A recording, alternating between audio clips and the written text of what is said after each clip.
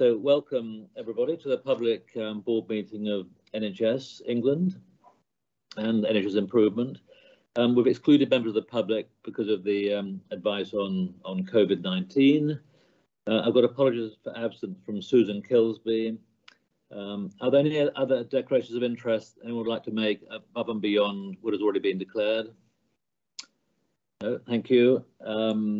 And can I approve the minutes of the last board meeting, which took place on the 3rd, 30th of September, please? Good, thank you all very much. Um, now, Amanda, I can't actually see you at the moment, but I think you're there.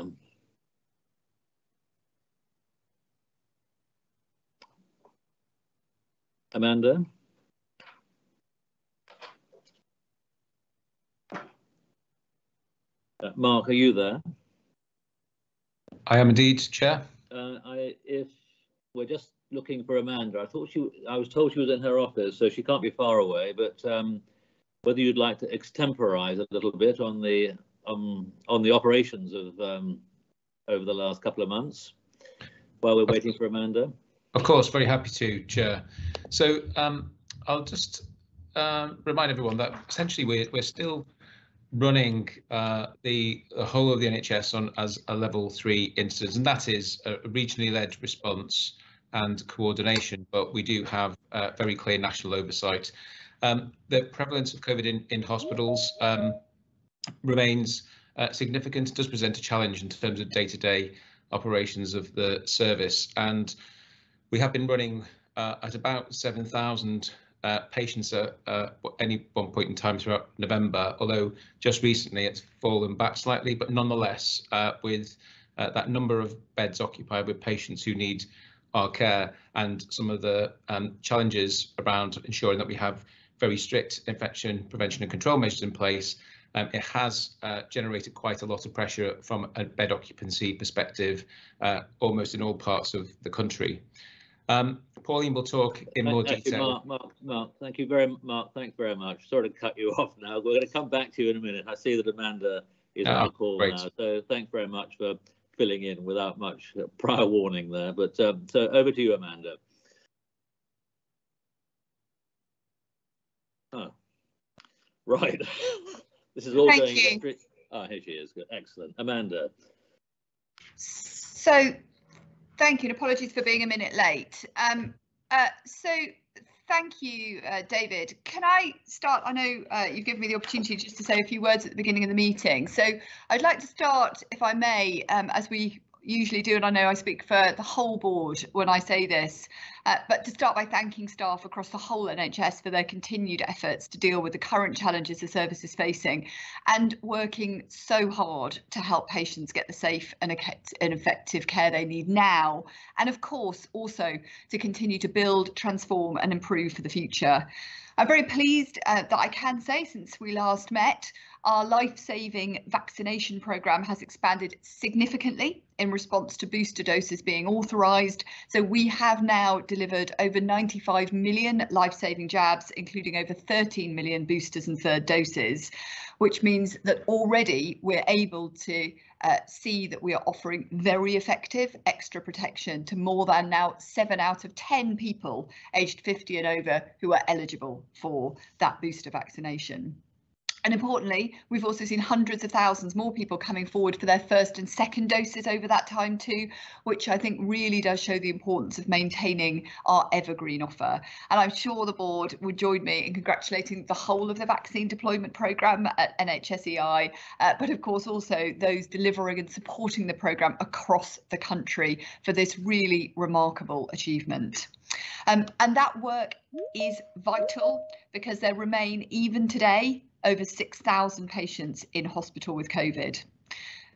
So for this, but also for other reasons, pressures, uh, I think as everybody knows, on all parts of the system are intense, and that is particularly being felt in urgent and emergency care. The measures that we outlined in the urgent emergency care recovery plan um, are having an impact. And of course since our last meeting we've also made the first ever uh, specific uh, financial support fund available for primary care to support access and the availability of appointments over the coming months. So that's 250 million winter access fund. But saying all of that i think realistically the likelihood remains of this being one of if not the toughest winters the NHS has faced. So it is vital that in this context we continue to make progress on not just all of those areas that are outlined in the urgent emergency care plan, but also some of the joint working with social care and local authorities to help people stay well at home, to be able to get the care they need in the community when they need it, and of course to be supported to leave hospital as soon as possible when they're medically ready to be discharged. Um, and uh, uh just as an example of this, uh, earlier this week I was up in Leicestershire speaking to their Home First team who've brought NHS NHS and social care staff together within their urgent community response team to provide a two hour response to many patients who would otherwise potentially need a category three or four ambulance response. I, I, mean, it was so impressive. Uh, and it's really clear, I think, that teams like this can play a really valuable role this winter, particularly with the pressures being reported by care homes and home care providers. So there is some focused work going on over this winter to ensure we're using the combined skills and expertise of the NHS and social care professionals. And this model brings that together to take as much pressure as possible off our ambulance services and other parts of the system this winter. I know that's something we're going to talk more about uh, during the main board meeting. Um, but implementing urgent community response teams, of course, was one of our long-term plan commitments and we have made progress on other commitments too since our last meeting. Uh, last week we announced a national network of 15 specialist clinics for children living with obesity, children actually, sorry, and young people living with obesity um, and other mental and physical problems associated with that. We've also announced a deal with suppliers that allows us to make blood thinning drugs available to up to 610,000 additional patients over the next three years, with the potential to prevent more than 20,000 strokes and 5,000 deaths. On cardiovascular disease, we also announced earlier in the month that hundreds of thousands of people will be able to get at-home blood pressure monitors to allow remote monitoring of their condition. And what that means is, of course, clinicians can then act earlier when readings suggest a patient's blood pressure is dangerously high. And the estimation is that, that could prevent an additional 2,200 heart attacks and almost 3,300 strokes over five years. Um, we continue to work hard and thanks again to all of those colleagues involved in this work to get deals in place to make life-changing new treatments available to NHS patients at fair prices for taxpayers through our specialised commissioning and commercial medicines teams.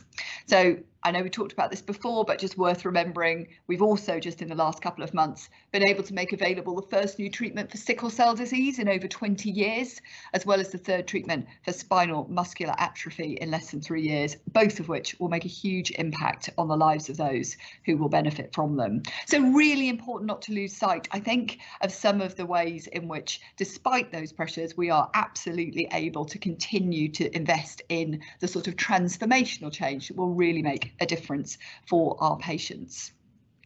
Just a word, if I may, on ICSs, because colleagues will have noticed uh, that this week the Health and Care Bill has been passed in the House of Commons, so it will now continue its journey through the House of Lords beginning next month. Our preparations for the bill's passage continue, with the vast majority now of ICSs having in place a designate chair and a designate chief executive. Uh, the quality of those appointments, I think for both types of roles, can really give us a great deal of confidence that systems are in good hands going forward and are ready to be, and I've seen this myself from the visits I've done recently and conversations I've had, but they really are ready to be ambitious about working in partnership to achieve better health and better care for the communities they serve. Uh, to further assist them and their teams, Again, just a note, since we last met, I have asked Claire Fuller, who is the ICS lead in Surrey Heartlands, to lead a rapid piece of work to give practical advice on how primary care networks can take their place within ICSs, as of course, again, envisaged in the long-term plan. Her work is going to focus on you know how we best ensure that we're forging those partnerships between primary community mental health services and other partners to really accelerate the preventative and out of hospital offer for patients in every part of the country from April onwards. For those people who need elective care, we've been working with partners on our elective recovery strategy and that's going to be published soon and it will set out the work we're doing to support elective care and reduce waits for patients. In the meantime, and again, I know we'll talk about this more during the meeting, whilst the size of the waiting list has continued to grow, we are seeing excellent work across the country to increase activity levels and the strategy of course will be about both how we uh, safeguard elective activity over what I've just said and we all know will be a very busy winter but also how we then build on that momentum over the coming years. Nationally and this is again huge uh, hugely important to us both now and in the future. But the government has confirmed this week that NHS England and NHS Improvement will be assuming additional responsibilities in supporting the health service in some key priority areas, and those are workforce and digital. And we've always said, I've said, you know, we, we, we know, and I know colleagues agree with me on this, you know, the workforce and digital need to be, should be absolutely at the heart of everything we do in the NHS. So I think this is a this is a really important moment uh, for us. So the two announcements, Health Education England will be merging with us with a working assumption at the moment, but obviously subject to further discussion and agreement that it would at least initially be as a distinct directorate. And then NHS Digital and NHS X will also be coming in, merging into our organisation following Laura's review, uh, with the former again initially as a new directorate led by Simon Bolton as the CIO, and the latter integrating into the transformation directorate, both of course under Tim's leadership. Um, all three of those organisations have played an absolutely vital role during the last two years, and of course before that as well. Uh, but I think we all feel that these changes represent a real opportunity for the NHS to build on that progress and approach workforce planning and digital transformation in an ever more joined up and coherent way. And it really does give us that chance to make real what we say and put workforce and digital at the heart of everything the NHS does. We know um, though, and uh, we've had a, a, bit of a chance to talk about this, uh, though not much because it's relatively recent announcements, uh, that a lot of work will be needed to ensure we get the transition right as an organisation, both for our collective staff and for the NHS system, which is why I know and I'm sure we will revisit this at future board meetings. Uh, but we're beginning now, of course, just to work together on what that transition plan will look like over the next few months. So for me, just the immediate priorities as we look ahead are responding effectively to pressures over winter, maintaining our life-saving vaccination programme, continuing the recovery of crucial non-COVID services, including, of course, areas like maternity and mental health, as we're discussing today, and obviously tackling the elective care backlog too. But fourthly and crucially, to keep transforming the NHS, to keep building on the beneficial changes we've seen over the past two years with a renewed focus on prevention, on partnerships, on harnessing the power of digital and data, and of course underpinning all of that on our workforce too. And that is so that as we emerge from the pandemic, we can be as well placed as we possibly can to face our longer term challenges and take those opportunities that uh, that we know we have.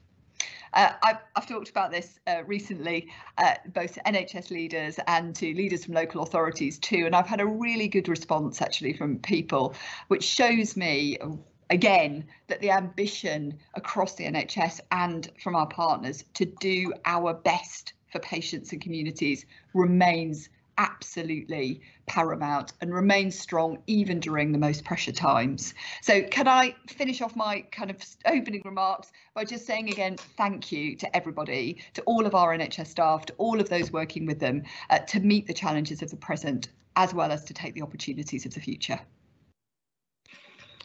Uh, uh, thank you very much for that very comprehensive and excellent sort of introduction to the meeting. I wonder whether I could just um, turn um, to Steve, the medical, our medical director, just as another, maybe a little bit more of a comment on how the vaccination program is going, Steve. Uh, well, I think, as Amanda said, the, the vaccination programme is is going uh, extremely well at the moment. NHS staff and volunteers are doing a tremendous job in uh, getting those jabs into arms. Uh, the focus at the moment is clearly on the booster doses. This week we opened up to the 40 to 49 year olds following uh, the advice from JCVI. Uh, that meant around half a million uh, people who had their second dose six weeks ago became eligible this week. Uh, and another half a million in that group were eligible to make a booking for when they became uh, eligible in six months because we've opened up the national booking service, which means that after five months from your second dose, you can book for that six month appointment in advance so that it's it's uh, in the diary, uh, you know, hopefully days or on the day that you become eligible. Um, so um, uh, a lot of people, you know, uh, are taking up boosters uh, at the moment. Um, I think we are over the 12 million mark. Uh, I can check the figures for you in a minute. I will have the latest ones. Uh, and uh, more people coming forward all the time. we're also increasing the number of sites that people can access the booster dose and vaccines at uh, focus on more community pharmacy sites, for instance, because we know that ease of booking and ease of access are the two things that uh, make a difference in terms of people coming forward. So, uh, as ever, as we go into winter, um, and the we do see some waning in immunity from the first two doses. It's really important that those booster doses are not just seen as a top up, but as a real cr critical way of maintaining immunity. Uh, now, uh, as Amanda said, we have around 6,000 patients in hospital in England at the moment with COVID. But in the last week or two, we have seen uh, a, a little bit of a drop in admissions and that number. Uh, and if you look at the test and trace data, ONS would say and do say that one in 65 people in England have COVID at the moment.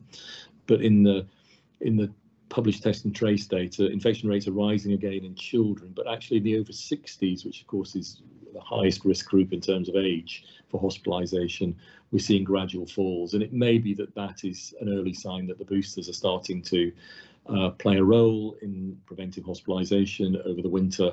Uh, we will see how that turns out as we analyse the data over the next few weeks. But I really emphasises the importance that when you are called for that booster dose, uh, to come and get it. Uh, meanwhile, we continue the rollout in the 12 to 15 year olds in school and 16 to 17 year olds. JCVI has changed the recommendations as to when you get the first dose if you haven't had it. Uh, in that age group, if, if you've already had COVID, it's 12 weeks after you've had COVID. So that's been a little bit of course correction in how we do that. And then finally, of course, we are still getting people coming forward for their first dose. Uh, and there's an evergreen offer. If you haven't had your first dose of vaccine, get it uh, it's uh, more important than ever as we go into the winter to make sure that people have levels of immunity against um, COVID. So the vaccine program is really key to protecting yourself, protecting your loved ones, and of course, managing over winter. Uh, Steve, thanks very much for that. So, shall we move then on to the um, next report, operations report? And sorry, Mark, I, you started and then you stopped. but It's your go again, please. Joe, thank you very much. So um, I won't repeat the um, updates Amanda and and Steve have uh, provided, but I'll just draw out a few things if I could, and also uh, then lead into an update we're going to hear from Pauline Phillips and from Claire Murdoch later from emergency care, elective care, and then on to mental health. But from a cancer perspective, um, we now have um, the, the the campaign that we put out, uh, which was to um, help us to help you campaign we've seen, a, thankfully, a really good response to that with more patients coming forward with symptoms, uh, possible symptoms that is, or perhaps some urgent referrals from GPs where patients can then get onto uh, pathways that will either rule out or confirm a cancer diagnosis and ensure patients have prompt access to treatment. And we're going to continue to prioritise, of course, uh, cancer patients uh, over the coming weeks, months uh, ahead.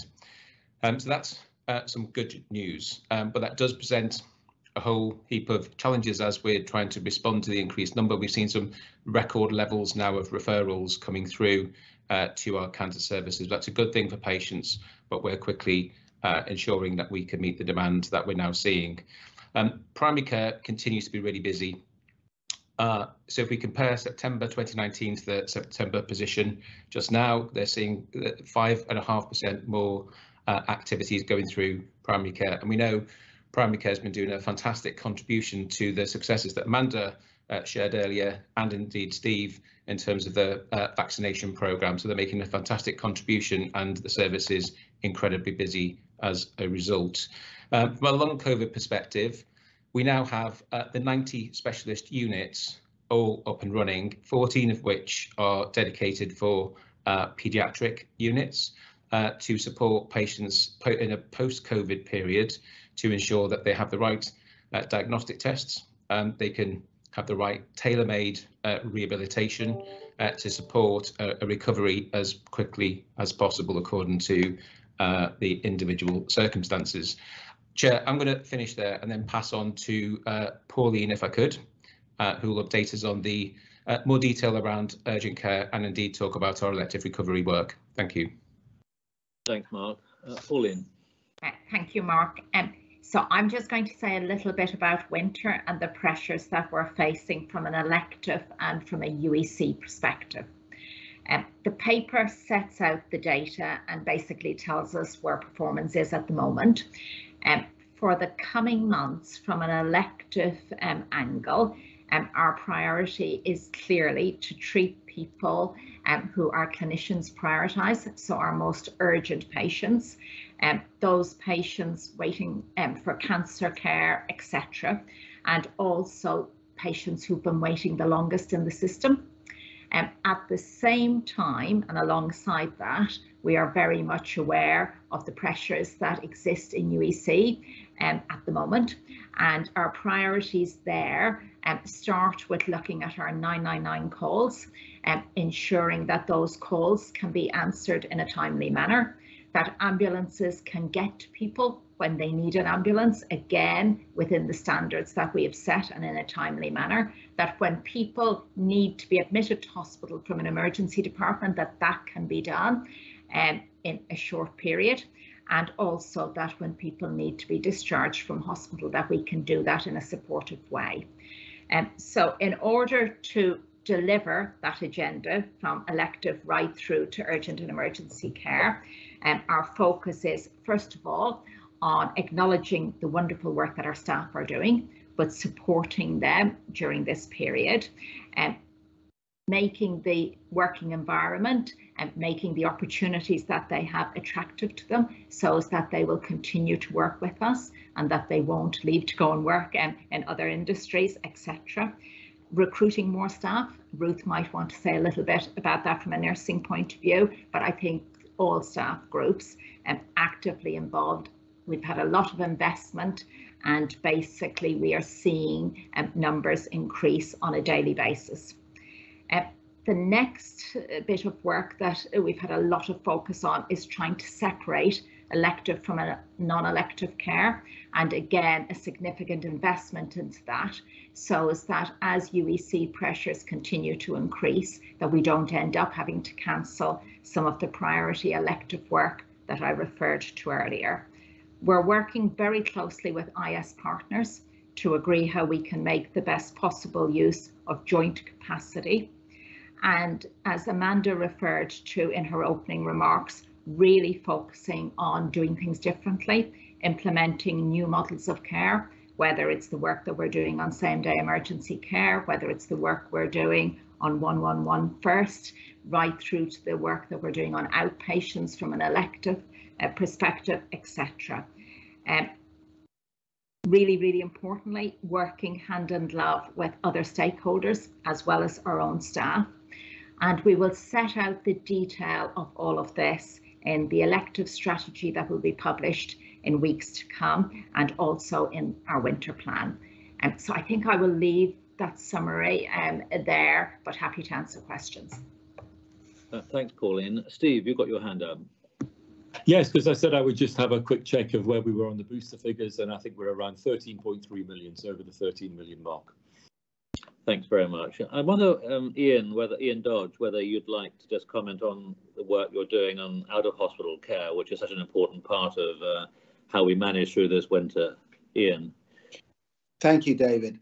Um, well, first of all, on primary care, as Mark said, general practice um, is incredibly busy at the moment, and the even later data than this board paper that came out yesterday showed a further increase in activity, significantly above BAU compared to pre-pandemic, and that's excluding the um, COVID vaccination data. Um, Amanda mentioned the 250 million new winter access fund. Um, we have been pleased by the level of engagement um, across primary care and across systems in designing solutions to help improve same day access. And in relation to community services, um, we had deliberately focused investment um, in 21-22 on developing the urgent community response services uh, to help uh, avoid uh, ambulance conveyances and admissions. And again, just as Amanda had described her example, that is beginning to really take effect.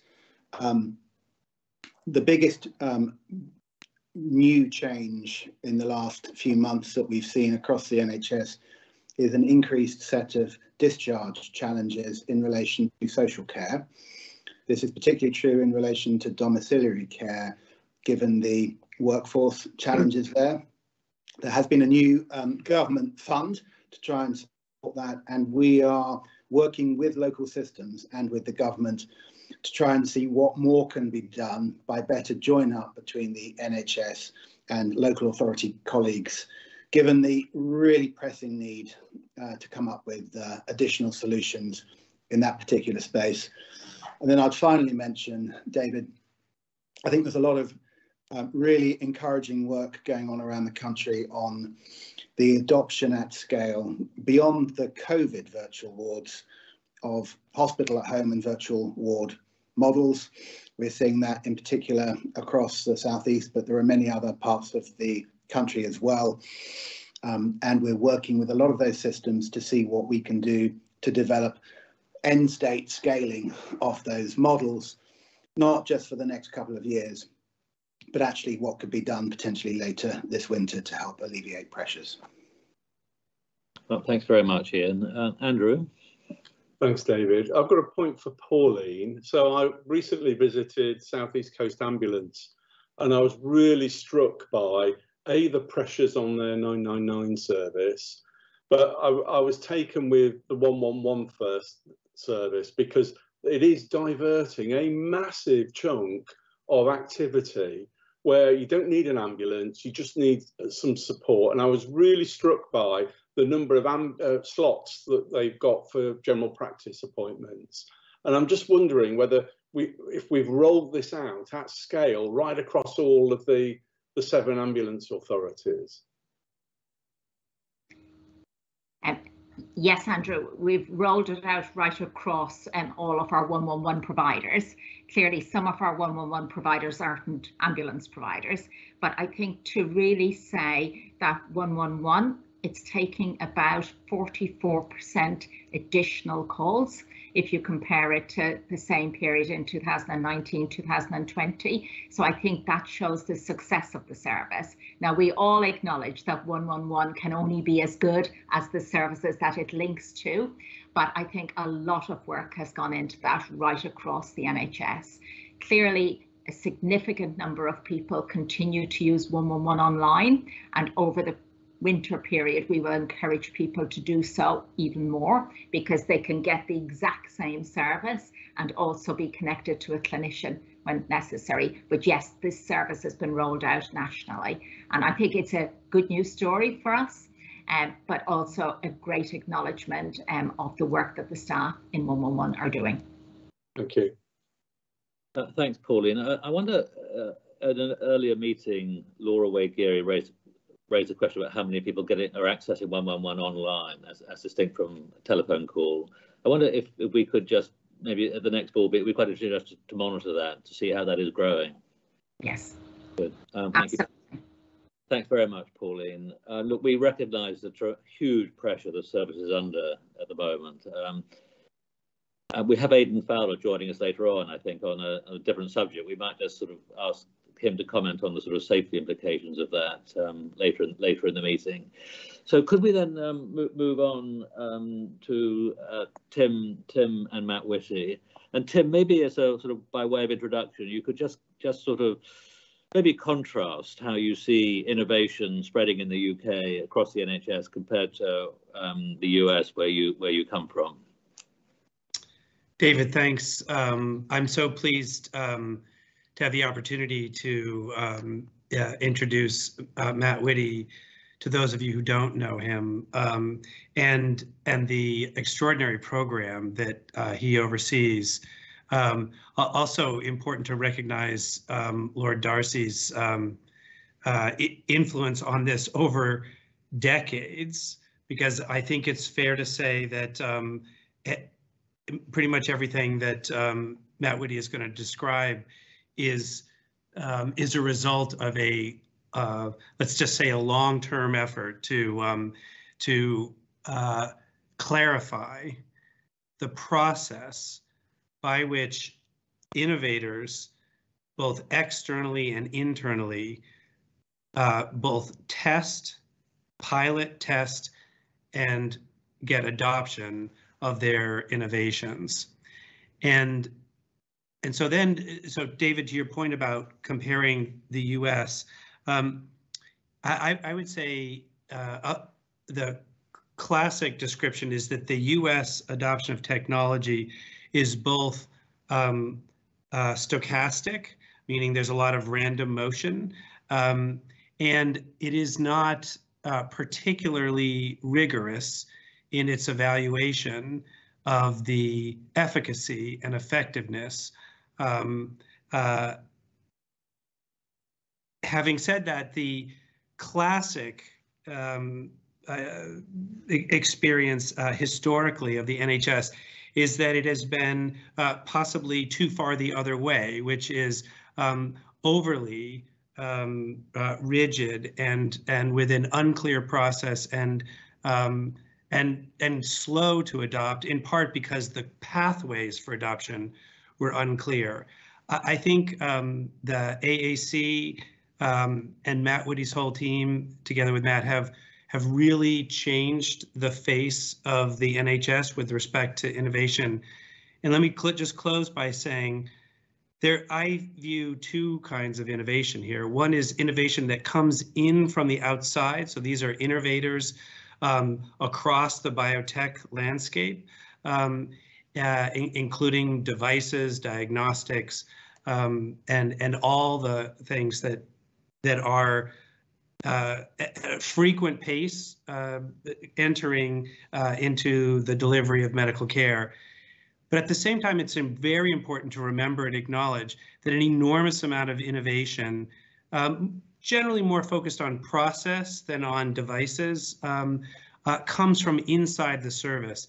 And and uh, the AHSNs and the other networks, the innovation networks, the innovation fellowship, uh, program that the NHS has sponsored have actually produced extraordinary uh, innovations from the people inside of the NHS um, uh, who are dedicated to that. I know Matt's going to talk more about that, but I just wanted to emphasize uh, um, to to everyone the the dual nature of this, the both the outside in and the insight in, um, uh, and the the scale of adoption of innovations. Matt, over to you. Thank you, Tim, and thank you, Lord Prior. Um, so I've got the incredibly fortunate position of leading NHS England's Innovation, Research and Life Sciences team, which hosts the Accelerated Access Collaborative. Uh, today I'm going to briefly cover our purpose, uh, what we do, um, a little bit of the impact that we've had, and our future priorities. So I think importantly, starting with our purpose, uh, the Accelerated Access Collaborative is here to improve patient outcomes and reduce health inequalities through research and innovation. And we do this by bringing together patient charities, the NHS, government, regulators and industry to address the challenges in getting more patients involved in research and the faster adoptive, uh, the faster adoption of innovative medicines, medical devices, diagnostics and digital products. And I think the timing of this work is key because I don't think it's ever been more important. And um, just highlighting one personal example, which I'm sure is not unique to me and many others um, on this uh, on this board will have experienced similar things, is that um, my dad was admitted to hospital with COVID last month, and he was immediately asked by the nurse caring for him whether he wanted to be included in a new trial for a COVID treatment. And this is a clear example of NHS staff recognising the importance of research um, and using that to quickly generate answers about what works and just as importantly, what doesn't. And that, that, that answering those questions being part of providing high quality clinical care. And the NHS staff that have undertaken this research through the recovery trial and other trials such as REACT have saved millions of lives across the world. So these are not hypothetical academic exercises, these are solving real problems for our patients. So I've highlighted uh, quite a lot of examples of our research and innovation programs in the paper, but today I just wanted to briefly highlight three tangible examples of, uh, of some of our work. So first I wanted to talk a little bit about the introduction of placental growth factor based testing. This is a life-saving world first test for pregnant women that can rule out preeclampsia, which is a potentially life-threatening condition. And this means that up to 65,000 women a year in the NHS who would otherwise be admitted to hospital can instead be quickly tested and safely sent home. And our AAC-led programmes scaled this from just two NHS trusts in 2019 to over three quarters of maternity units today. So having these innovations in place through our programmes means that when things like COVID strike, we are better able to provide the care for our patients and safer care um, that our clinicians want to provide for our patients. Second example is um, alongside colleagues uh, that we work with really closely from NHSX through our Artificial Intelligence in Health and Care Award programme. We've supported clinicians in Reading and Oxford to develop and test Brainomix. This is an artificial intelligence tool that speeds up the reading of brain scans and recent results from these sites have shown a reduction of more than an hour for patients in the diagnosis and treatment of stroke since they introduced the technology. And they've also seen a threefold increase in patients being able to achieve independence following a stroke. So these are innovations that are being developed and tested in the NHS, but they're already starting to show meaningful clinical impact for our patients. The third example I wanted to highlight um, was following on from the NHS long-term plan, which identified population health and preventative medicine as a key area. And one of those areas of focus was around the earlier diagnosis of cancer. And we've worked with NHS England's cancer team and the Commercial Medicines Directorate on a deal for a new cancer blood test, which is Grail's Galleri blood test. So this test can detect over 50 different types of cancer. Now, this is part as part of the deal. This was a this involved a huge 160,000 patient trial in the NHS, and importantly, this is prioritised in the areas of the country with the highest needs. So there are areas of the country where you're more likely to be with cancer at a lateable stage. So this trial has prioritised patients from those areas. So this really highlights in practice our strong commitment to reducing health inequalities. Alongside the size of this trial and the targeted nature for patients um, with uh, from more deprived backgrounds and who have got poorer outcomes, one of the important things I want to highlight is the setup time for this trial was extremely fast. The UK average time for setting up a trial from submission of the regulatory paperwork to the first patient being enrolled in the trial is around 218 days. For this NHS trial, we did it in 35 days, and we did that by taking lessons from the vaccine and the COVID treatment studies, some of which I mentioned earlier. We've also worked with colleagues, uh, clinical colleagues and the Commercial Medicines Directorate on other significant population health large deals, such as for the uh, cholesterol drug inclisiran, which is part of our broader work supporting all NICE approved treatments for cholesterol management as well. Just to give a bit of an idea about the impact of our work, these are not niche projects, these are huge projects. So over 1.4 million patients have benefited from our programs to date. And over the last year, we've helped patients spend over 140,000 fewer days in hospital. We've supported over 3,700 innovations across 700 sites across health and care. We've also helped support around 3,500 innovators, including over 700 staff as part of our NHS Clinical Entrepreneurs Programme, which provides mentoring and advice to NHS staff to enable them to develop solutions to the problems that they can see on the front line and help them to do that whilst remaining in the NHS so that they don't feel they have to leave and join a tech company or join their own startup um, in order to develop solutions that they want to provide for their patients. And we've also saved NHS organisations over £119 million in the last year. So the work I've outlined is clearly just the start and the Accelerated Access Collaborative has identified six priorities to build on this so that we can do more for our patients. So firstly, we're committed to providing a clearer articulation of NHS needs, something that we call demand signalling, and matching these needs to a systematic search for solutions, which we call horizon scanning. And we do this by working with our partners um, across the AAC in the Medicines and Healthcare Regulatory Authority, NICE, and many other partners as well. And this means that we can better prepare for the next generation of innovations coming through and stimulate innovation and research in the highest priority areas for our patients. Second, uh, we want to increase the diversity, scale and speed of research. I've given one example with the Grail test about how we're doing that in practice, but we want to do more so that the NHS can have the clinical evidence that better reflects our population and our health system, and that will make it easier to adopt the best innovations that come out of that uh, come out of that research, and that will ultimately help to improve outcomes and to reduce health inequalities. Third, we're ensuring that we've got programmes to support the uptake of NICE approved proven innovation on the NHS in the NHS, and this is supporting work for um, mapping out the uh, the pathway that it, uh, that uh, from ideation to adoption across medicines, diagnostics, medical devices and digital products, alongside a range of support programmes for NHS staff to help them adopt these proven innovations. Fourth, we want to support the NHS workforce to champion innovation on the front line. I've mentioned our workforce support programme, the Clinical Entrepreneurs Programme, but we also want to make it easier for staff to undertake research uh, that I mentioned earlier as well, and to help them implement these new innovations and provide the care that they want to for their patients. Fifthly, we're committed to continuing our collaborative approach to transforming care across all of our AAC partners. So some of this will be through the at-scale commercial deals that I mentioned, but it'll also be with through things like our NHS Innovation Service, which is a portal that we're launching to make it easier for innovators to navigate what can be quite a complicated landscape in the NHS, so that they can get the right support at the right time to develop the future solutions that we know we'll need. And we work closely, as Tim mentioned, with the academic health science networks as part as part of spreading uh, best practice and rapidly testing uh, the new innovations that are coming through.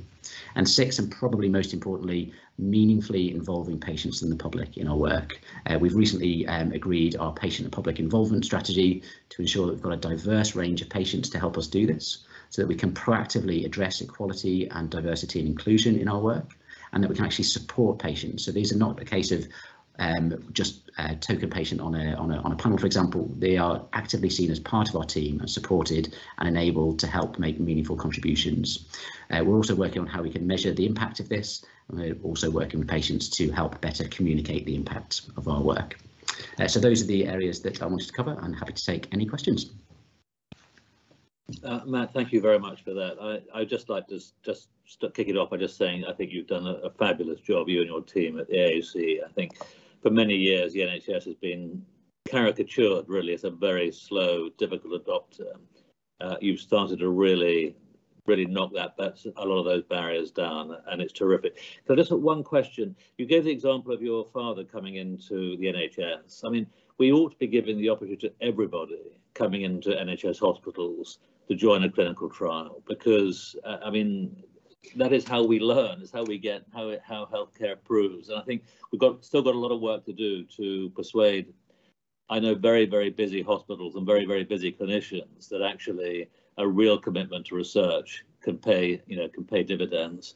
Um, uh, Ruth and then well Ruth. Thank you, Chair. So I very much welcome this. Um, it's wonderful to see this innovation and it going into practice and that's what's making a difference to uh, our patients and also rewarding the staff. So as Tim knows, and thank you Matt for referencing it in the paper, but uh, on this Monday, the 22nd of November, I launched the very first Chief Nursing Officer research plan and had five areas within that. The first was aligning nurse-led research with the public need, and much was what you've talked about already. Second was releasing nurses' research potential so that they become part of the researching rather than supporting research as well as that. Third was building the best research system, then developing future nurse leaders of research, and finally, just as important, was digitally enabled nurse-led research. So it's gone down very, very well with the profession, and I see that as something that is going to be key to supporting this work, Matt and Tim. Thank you, Chair. Thank you, Ruth. Uh, Wol? Thanks, David. Um, I, I, completely agree with uh, David's earlier comments about uh, the amazing work you and your team have done in such a short space of time, and the evidence is, is there in the outputs, um, which, which have been fantastic. Um, this may be a sort of, uh, you know, down the road type uh, um, issue, but I'm wondering, given the um, vast amounts of money being put into healthcare generally by private equity and venture capital, um, and the incredible um, interest in biotech, how we can get to sort of risk sharing perspective with the with those people. So, you know, we've got a finite amount of money. We don't want to see any pressure.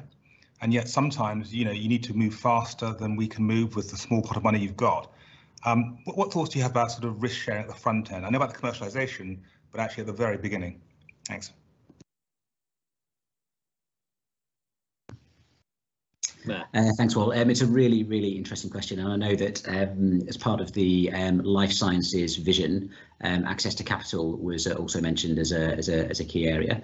Um, so one of the areas where we've actually started um, uh, thinking about doing that is actually how we work with uh, with investors so that they can actually see we want them to be making similar investments that are that are that are important to us. So I think our demand signaling work that I mentioned earlier, sort of getting better at articulating what our needs are, will help investors make better decisions so that they're placing bets in areas that we're also interested in. And um, we haven't explored sort of early stage sort of joint joint ventures and so forth to uh, to do that as well. Um, we have started talking to investors to understand how they make decisions, what's important to them, what information sources that they can see, and help that feed that into the other part of that work I mentioned, our horizon scanning, so we can start to see how do investors think so that we can start to think that. But uh, we don't have any specific plans to uh, to do joint investments at the moment around uh, around that as well. But it's uh, yeah, it's a particularly interesting area.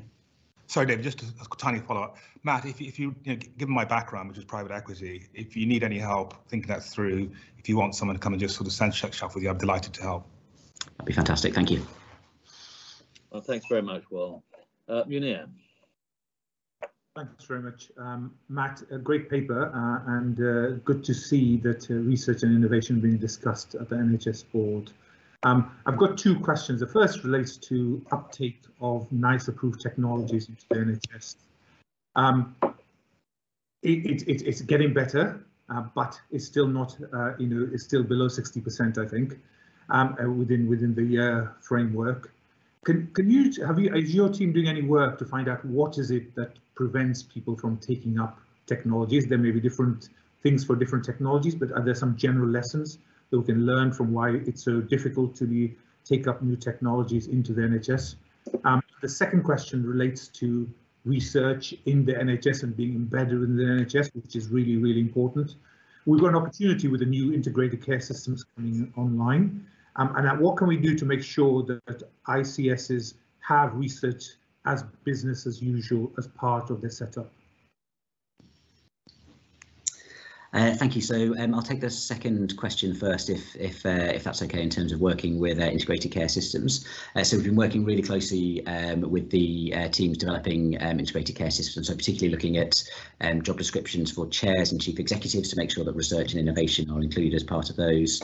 Um, we also work really closely with the regional medical directors and their teams, um, so that uh, when we're actually looking to roll out innovations, that they're actually aware of kind of what the innovations are that we're working on, and that they're aware of our aware of our programs programs as well. But we know that there's plenty more to do with, it, uh, with integrated care systems, and um, particularly as sort of a, whole new range of uh, leaders have been announced over the last uh, over the last couple of weeks.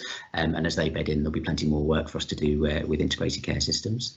Um, in terms of the adoption of um, NICE approved uh, NICE approved treatments, um, it is a challenge. I mean, international comparisons are always difficult with um, different uh, patient populations and so forth. So it's it's sometimes quite difficult to get sort of a like for like comparison. So it's important to have that to have that important important caveat at. Um, there are a number of things that, uh, that we need to look at. So particularly for medical devices, often the implementation is more complicated because there's often a bigger associated um, service change that's required. So the implementation times um, often often take much longer if you're sort of switching from a uh, a model of sort of inpatient care to day case uh, type care that can take uh, that can take significantly longer. And um, we've got a range of programs um, providing bespoke support for um, technologies that are NICE approved that have lower that have the lowest uptake where we think we can make an impact and that's something called our rapid uptake product. So we have tailored support where we work with uh, clinicians we work with patient groups to understand what the what the barriers are on a case by case basis. And we feed those lessons into our general learning at the AAC board when we and obviously NICE are one of the uh, one of the members of the board. And then that further feeds um, the uh, the materials that NICE produce to support uh, to support adoption as well. Um, we also look at um, things where they haven't worked. Um, haven't haven't. Uh, so one of the examples where we looked at that is around some of the lipid modifying treatments. So we've seen with some of the agents that uh, people go on to after statins uh, and ezetimibe, for example, haven't worked, and we've looked at where the, the reasons why they've had lower um, lower uptake, and that has also fed into why we've done commercial deals for newer things coming through to try and instead of wait for things to actually get to the stage of not having the level of adoption want, to try and address these proactively in real time before they uh, before they happen as well. But it's uh, it's an extremely challenging piece of work, and we've got plenty more to, to do to to understand those as well. Uh, Ju Ju Julia, then David Behan. Uh, thank you, Matt. Uh, very interesting and fantastic work. I'm sure you have a lot of people wanting your services, and I just wondered how you prioritise. Um, what do you do? Are you are you getting too much call on your time and your resources? I just wondered how you approach that. Well, I'd say that I'm not unique in the NHS in having lots of calls on my time, and everyone on this call and many people watching will have uh, many, many, far too many calls on their on their time as well. But I think the, probably the, the bigger worry is where where you don't have don't have those calls on your on your time as well. Um, in terms of the sort of the overall priorities for the uh, for the AC, we, we obviously work across government and across our different partners to kind of agree the priority areas where we think we can have the uh, have the biggest impact. And um, if you if you mean around sort of specific um, deals and so forth, and some some of those bigger deals, uh, we work closely with colleagues in finance and with uh, our clinical colleagues across NHS England to look at where are these deals, where where can we actually make a big impact. You know, these these deals take a huge amount of resource internally to do. So we need to make sure they're focused on areas where there is actually a genuine need. So what is the link to the long-term plan and our strategic aims? Where can we actually make a difference? Do we need to do a deal or will something just go through NICE anyway and we actually don't need to intervene? Or actually would it, us intervening actually slow things down or not make any impact? And where we start, start to tick those boxes, um, then we can actually start to look at where do we want to do a deal? Is there potential for us to benefit from that as well? But it tends, it's got to have a clinical lead, clinical clinical sponsored leadership. It's got to have a clear evidence base that actually this is the right thing to do. It's got to be the strategic alignment with our clinical aims, um, and there's also got to be um, a partner who's willing to um, enter a really tough negotiate tough negotiation with us and actually to put in the work to actually come up with an innovative model that is going to make a difference to, to patients. David. Uh, thanks, David. Um, uh, thank you for, for this, and Tim, thank you. Um, Tim, I thought your framing of outside in and inside in was uh, really helpful, and the examples, Matt, in the paper I found very uh, powerful and very compelling. But I wonder whether you could say a bit more about the process improvements and innovation. I'm trying to connect the first report that we had that Mark Cubbon took us through in terms of what the reality is at the present time and how innovation might not just be additive um, in terms of adding new um, tests and techniques and uh, equipment, but how we might improve the, both the productivity and the efficiency of what we uh, are offering, and therefore some of the uh, material that we had at the beginning of the meeting about what the current reality is in terms of waiting times, uh, etc. How innovation and research might be contributing to that as well, and it just strikes me that's an important um, uh, dimension of innovation and research that you that we might give some oxygen and some sunlight and um, and water to to grow that a little bit more. Uh, thank you, David. Matt or Tim? T Tim, you're raising your hand. Yeah. Yeah. I, I'm I'm so glad you asked that, David. It's a great question, and you know, one of the uh, earlier on in Amanda's comments, she talked about uh, organizational changes um, uh, that uh, we are working on and planning. Um, Matt and I see extensive opportunities for the processes, uh, platforms um, that he has uh, been working on to have greater integration with operations, and I want to just connect that directly to what Mark Cubbon uh, presented. Um, and um, and David, I'm a big believer. I know you are in the importance of promoting agency within our workforce. And, and here what I'm talking about is, for example, one small example is that we are about to launch a website for uh, to collect ideas from the people working throughout the NHS around our top priorities. Um, and we will have a, a curation process and a pilot and support process associated with that. And I think that is one of the direct advantages of some of the organizational changes that we are contemplating. Um, so I just want to, so connecting those two conversations, and I can't let that question pass, David, without also mentioning the importance when I said inside in, what I meant by inside included our close partners in social care some of our biggest challenges uh, associated with hospital capacity uh, and um, uh, frail elderly, uh, the numerous challenges that have already been discussed by Pauline. We will need the service, the people delivering the care to be part of a process for innovation because they they are the best um, capable of understanding those problems and suggesting alternatives. And we uh, need to support a process for those ideas to um, to come forth and to test. Um, that's I recognize that is not a small undertaking what I've just described, but but I think it's a very important one. Uh, thank you, Tim. Uh, Julian. Matt, um, I recently visited Cambridge and the team under Rebecca Fitzgerald that sort of developed the cytosponge uh, technique. And she was explaining to me like the 20 year journey that she has been on to get that thing designed and tested. And I sort of wonder what lessons do you think we can learn about the sort of innovation in areas which isn't at the complete high end, but it's the kind of vast simplification of what are otherwise incredibly complicated and costly techniques and uh, do you think there's more we can do to encourage thinking in that area? Yeah, I think that's I think that's a great example, and it's sadly um, often a fairly typical um, sort of journey journey uh, journey timeline. So there's, there's, two answers I'd give to that, uh, Julian. So firstly, uh, we are currently mapping out exactly, this was a point I mentioned about sort of the ideation to actually adoption for medical technology so we can actually understand what is every single stage these have to go through from sort of ideation, testing, regulatory, CE marking, right through to the regulatory processes and where is it actually we can most usefully intervene at the moment. Because we've had a range of programs that we've worked on over the years which have been given us all the great numbers that I've spoken about, had some great patient impact from talking about it, but we haven't really started from a what, where can we actually have the biggest impact and what's that sort of strategic approach. That's that piece of work is live at the moment that we're that we're going through and we're working with AAC partners to to do that.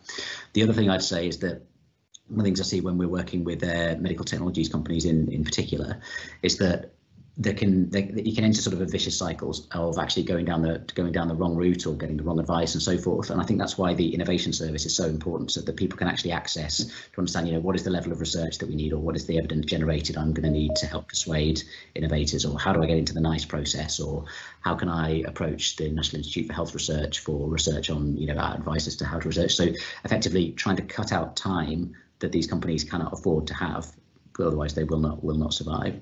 And thirdly, I think is the uh, sort of the, the commercial angle that actually they have to remain focused on what the problem is they're trying to trying to solve. And there can sometimes be a little bit of a disconnect for companies particularly when there are sort of central grants or central funding and so forth that actually um, the customer should always be what is the uh, sort of the, the local NHS customer that problem that we're trying to solve? And sometimes the sort of central national funding can be fantastic for a company surviving and needing but you cannot take your eye off the ball on the main central problem that you're trying to do and become a, effectively a grant winning machine instead of a patient uh, problem solving machine as well. And that's a really important point to make as well. Uh, Matt, I think that's probably it. Thank you very much for that, for, for providing us with that paper. And and would you say on behalf of the board, you know, Oh, well, you put your hand I do apologise. I do apologise. Um, and this may be a sort of again a tiny, tiny, tiny point, but I just wondered if you could just explain the difference, the difference, or how you interface with. Um, I think it's called the transformation unit, the, the Horizons bit, because they talk about large scale innovation and and sort of making that happen as well. What's the crossover? It's Helen Bevan, I think, is the one who she runs that one. Yes, I have. Uh, oh, uh, after you, Tim. Well, uh, well, this is just my point. So they have been separate, um, uh, relatively separate uh, uh, organizational approaches to innovation. They are coming together in the Transformation Directorate now. They will very shortly be fully integrated. How, how's that? okay. Um, one, one practical example, uh, of how we how we work together is uh, links into some of the work that uh, that team and uh, Hugh McCaughey's team led around beneficial changes. So they led a huge program of work engaging with the frontline uh, last year, identified around 3,000 innovations. And um, what my team did was support them to work with regional medical directors to actually prioritise this long list of three, several thousand potentially beneficial um, innovations. Um, my team also then interfaced with the National Institute for Health Research, who control an infrastructure called the Applied Research Collaborative. So these are organisations with huge experience in evaluation, and they started to evaluate this prioritised list. And then my team also commissioned the academic health science networks uh, to work with actually implementing the technologies that came out of that that were good as well. So it's actually so we worked together really nicely, and that's just one practical example of how we how we do that. Brilliant, thank you. Uh, thanks, Matt. I think it's just worth saying that Matt is organising a series of visits to all the um, academic health science networks, AHSNs. If any any directors, non-execs or exec directors would like to join those meetings, I'm sure Matt they'd be very welcome, wouldn't they? Absolutely, it'd be great to great to have you as many of you as we can. Brilliant. Good. Thank you very much, Matt. Great paper, great presentation. Thank you. So, uh, we moving moving seamlessly on to mental health. Um, Claire, I can't see you, but I think I think you're with us. Good afternoon. I'm I'm uh, with you, and I'm with my colleague Professor Tim Kendall. We're both here. Hi, Tim, as well. Good to good to have Hi. you both on the call. So, Claire, are you kicking off? I am, and then I will hand briefly to Tim to talk about digital and innovation as well. So, um, obviously, people have read the paper, but just to remind colleagues that pre COVID, we had a really ambitious long term plan for mental health where we uh, committed to seeing 2 million more patients a year every year by 23 24 so our long-term plan. And we had clear investment on that and workforce trajectories and everything else that you'd expect to underpin a plan such as that that we intended to deliver i think it's fair to say that we were well on track with the implementation of our plan. Um, just to really remind colleagues of course that one would never talk just talk about a physical health health plan in the way we do a mental health plan. To reassure everybody under that sit different patient groups, different pathways, and there are examples of those in the paper. So it's an all age strategy. We were making good progress. COVID came, and as with the rest of society and the rest of the NHS, we were impacted by it in some ways we were impacted in a good way in terms of the program because we pulled we pulled forward certain deliverables from 23 24 to last year and this. Um, um, for example the 24 7 all age crisis lines that we said the NHS would offer in all parts of the country. Those crisis lines were mobilised in a matter of weeks where they didn't exist before. About half the country had them before, but they weren't necessarily all age. Um, so thank you to colleagues, and I, I, I, would really wish to extend my extend my thanks to colleagues in the sector because they have not stopped. They're very focused. Um, on delivering our plan.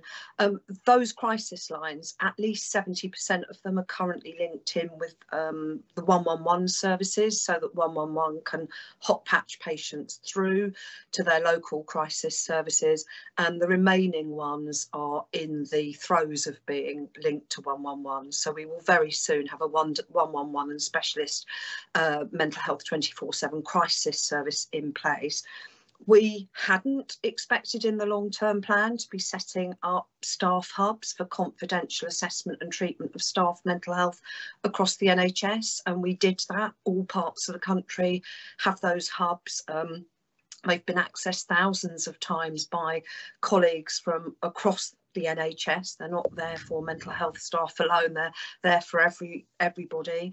And so we established those hubs and we really kept all of our services going one way or another. Um, and particularly we lent on digital platforms and applications to see patients. And I'm going to ask Professor Kendall to say, Tim to say something about that in a moment. And the other things we did, uh, uh, uh, where we didn't stop, was we do believe that provider collaboratives will be a very important part of both the present but also the future as we introduce ICSs and integrated services at place um, we think that provider collaboratives will have a great deal to offer there. So we carried on uh, rolling out provider collaboratives across the country. Now all parts of the country are covered. There are just a few more to, uh, to bring live over the coming 12 months. And we think that's going to be an important capability to improve both quality, but also change the model of care and those NHS-led collaboratives are absolutely charged to tackle inequalities, work with partners and local communities as well. And we put just a few examples in the appendices of some really good work they're already achieving. And I was also delighted that we published our Advancing Inequalities um, strategy for mental health or Advancing Equality um, back last October, and we've done a great deal of work in that space too. So um, uh, uh, many of our pathways uh, and our programs continue to deliver and be close to or on trajectory. So if we think back to the long-term plan promises, are we on track? Many of them are in addition to that work that I've just mentioned. Others have been affected uh, more considerably. So, for example, we saw a real tail off during the first waves of COVID of people coming forward for talking therapies. Even though they were open access, we moved them online. Um, that dropped off. That's very typical internationally when a major crisis strikes. But of course, what happens is the need doesn't go away. You have pent up demand, and we're now seeing um, huge demand, and we're back to pre COVID and we're working very hard to expand those services. We also continue to roll out mental health support teams in schools and indeed we've been fast tracking their rollout um, and happy to answer questions on that as well. Over the next three to six months, right now, we're obviously focused along with the rest of the NHS on our urgent and emergency care pathways, working with A&E, ambulance services and others to make sure that the patient experience for mental health patients is a good one, is a safe one. And we're certainly, we've invested an additional 20 million pounds over this period uh, for colleagues to do things, for example, like put mental health experts in ambulance control rooms and in 111. We're getting some great feedback there. We're diverting people from A&E to home treatment and intensive support there. Um, and of course, the crisis lines I mentioned earlier. So we're really focusing, working with Pauline Philip and her team on the winter plan but restoring the IAPT, the um, long-term plan trajectories as fast as we can, focusing also on physical health checks for people with mental illness and really doubling down on that inequality, making sure that mental health is positioned correctly in the ICSs, making sure we deliver on our promises are really, um, we're in full stride, let's just say that. We've got a very creative sector We've recruited um, an additional 18,000 staff thus far, and many thanks to colleagues at Health Education England across the country because we've developed new roles, apprenticeships, the psychological practitioners in IAPT in schools and elsewhere. We're looking um, and a whole range of other new roles as well. So workforce is both our biggest opportunity and our biggest challenge. We need 27,000 more staff by 23, 24 to power our plan. So we want to tackle our waiting lists, our own form of elective waiting lists, uh, steady our UEC, our urgent emergency care pathways, continue to support staff, continue to roll out provider collaboratives, and restore the LTP trajectories. Um, I have to say the sector is so engaged and up for this, as are our charity colleagues. I'd like to thank them all. But I wondered whether I could just hand to Tim briefly to talk about how did we keep services going digitally? Where are we going next? And what innovations do we see there, Tim? Sure. Um, I think the the first thing to uh, to say is uh, we were very surprised um, in areas like IAPT uh, and in other parts of mental health uh, that very quickly moving on to using telephones and videos and so on to maintain contact with patients. Um, and there is a growing evidence base that actually if you deliver um, therapies by telephone, that's that's been known for some time, but also by video, that you actually get uh, comparable sorts of results to face to face. So I think where we've ended up with this is that yes, we are expanding access to video and telephone therapies, um, but it's it's it's it's basically about choice now. It's what what what do people prefer? So if you're a young a young person with autism, you are very likely to prefer doing this by video. Um, and you know we, we've got way better um, uh, results on DNAs on people not attending. Um, uh, instead, lots of kids with autism will now attend probably 100%. So that that's all good news.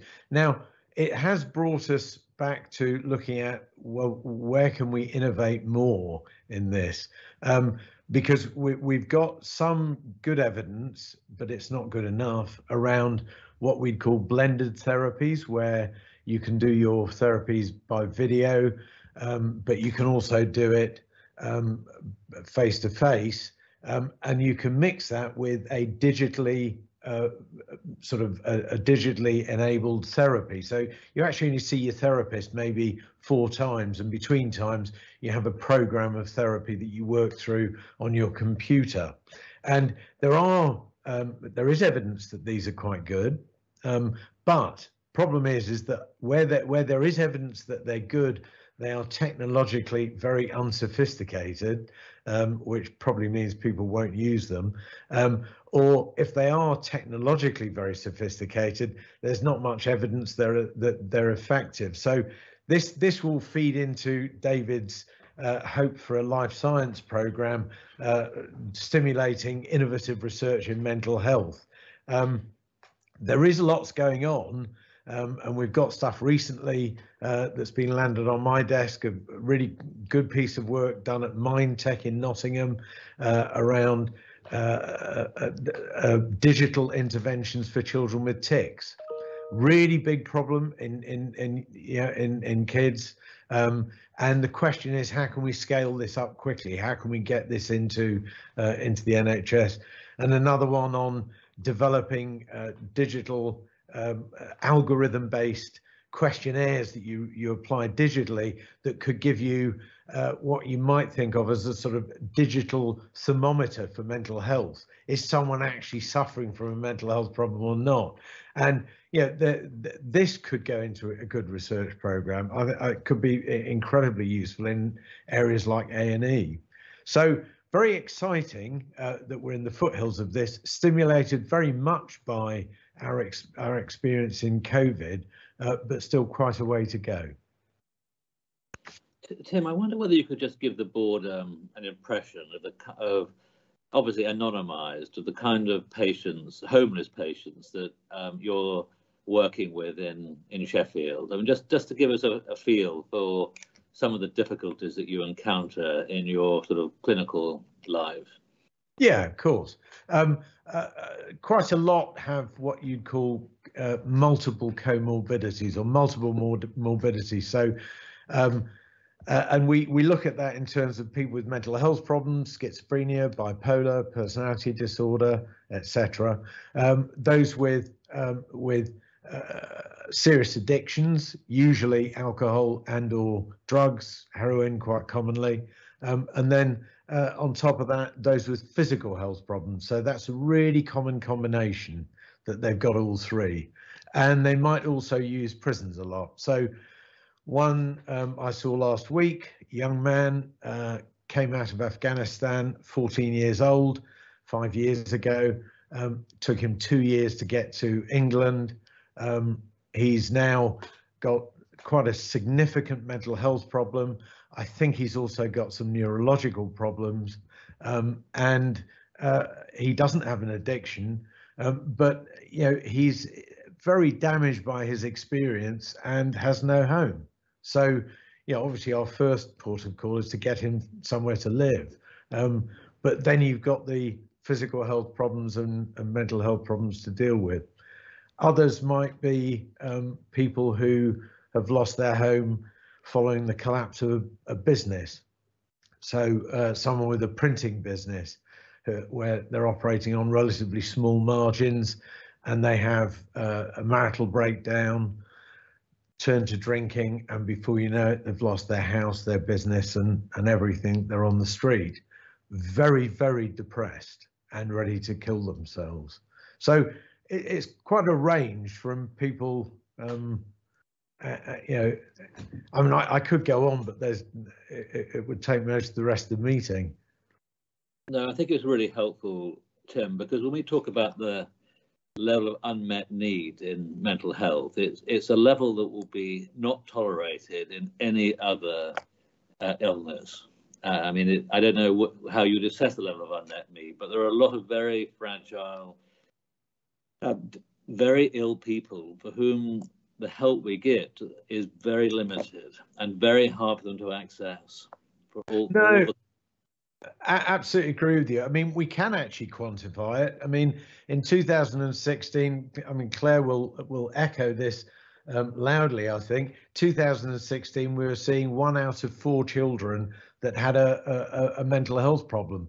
And the, the one out of four that was getting treatment wasn't to do with severity, it was to do with the the the ability of parents to access services more than anything. So we've now changed that to about 40% of kids being seen. So we we we we will get there in the end, but it's it, it takes huge amounts of time of training staff and getting the investment in the right place. Um, the equivalent numbers for adults is that it was just under 40% when we started and we think we're, we're not so clear on this. We think we're probably getting up to just over 50%. But it's, you know, it wouldn't be tolerable if you if you say we're only seeing one out of you know 40% of people with cancer, you'd be we'd we'd get lynched, um, understandably. Um, yes. Yeah. And just to say, it, we've done it, some modelling on children and young people, um, which makes us think that we can have closed that treatment gap to an acceptable level. We've done the modelling and looked at the evidence base um, by 2027, 2028 and we know the sorts of services that we need to roll out, including the mental health support teams in schools everywhere, not just in 40% of the country, which is where we will be by 23, 24. So as Tim says, I, I think there's often a temptation with mental health because because it's such a big systemic underserved um, set of patients and populations, there's temptation to think we can never close that gap or close it to an acceptable level we absolutely can and our programme um, is demonstrating that's possible. We're not wanting to pathologise and medicalise all distress, um, which is why we work closely with schools and charities and communities and put self-help apps and things like this. Um, but in terms of those who have the most severe illnesses or the most treatable, it is possible to close that gap and we absolutely should. Uh, thanks, Claire. Uh, well, Thanks, David. I mean, Claire, Tim, thanks for your presentation. Um, it's such a, such an important area which deserves, as you rightly say, focus. Um, a couple of questions from me. The first is when you talk about um, working with people, being aware of the landscape, what's going on. So in my previous life, I chaired the Guy's Thomas's Foundation, um, and there, one of their programs is uh, on adolescent mental health and, and just connecting the dots because they're looking at the space, what's going on, and trying to fund um, uh, fund uh, ways of making this, this, issue sort of be reduced in, in due course. Uh, but also one of the things they do, and my firm, my own business, uh, joined up with the charity in funding um, well-being zones in hospitals. And we had an amazing presentation from a doctor, a psychologist, Dr. Neil Rees, uh, and he was talking about the fact that the, the huge benefit this has been to the pandemic for, for, for the workforce. And I think I'm right in saying he sort of said, actually, it's not being funded across the system, um, as in that it felt like a one-off. I could have this completely wrong, in which case I shall go back in my box. But it just struck me that one, you know, it took outside money to fund it, which is a bit odd. Um, delighted to, but it's a bit odd. Two, having shown it works really well, why aren't we rolling out everywhere else? What was the intervention? Well, so uh, well-being zones. Um, oh right. So yeah. it's comprehensive psychological and spiritual support for staff. Uh, and the, the, key, I think, is having a trained psychologist in the situation working for the workforce, as opposed to uh, patients. No, um, the, the, many of these things um, work uh, phenomenally well, but um, for us to get this rolled out nationally, we've got to have randomized controlled trial evidence for it, um, or at least you know pretty decent evidence that would would work. Um, now, as far as adolescents are concerned, you know, it's crying out for for help in this area during the pandemic. They have suffered more than any other group, in my view. Um, you know, we've gone up from probably one in nine having a probable mental health problem up to one in six. Um, and, you know, the group that probably have been most affected are young women. Um, so 16 to 25 year olds, um, 27% of women have now got a probable mental disorder, and that's twice the rate of, of men in that group. So huge need. Um, we we yeah we do have interventions for the for for these group, but you know we need a lot more research around which work and which don't. And my third point, sorry, David, to, to jump in. Uh, I have to do this offline. I apologise, but um, there is um, a particular philanthropist who has a vast sum of money, whose basic goal is to cure mental health. I mean, extraordinary.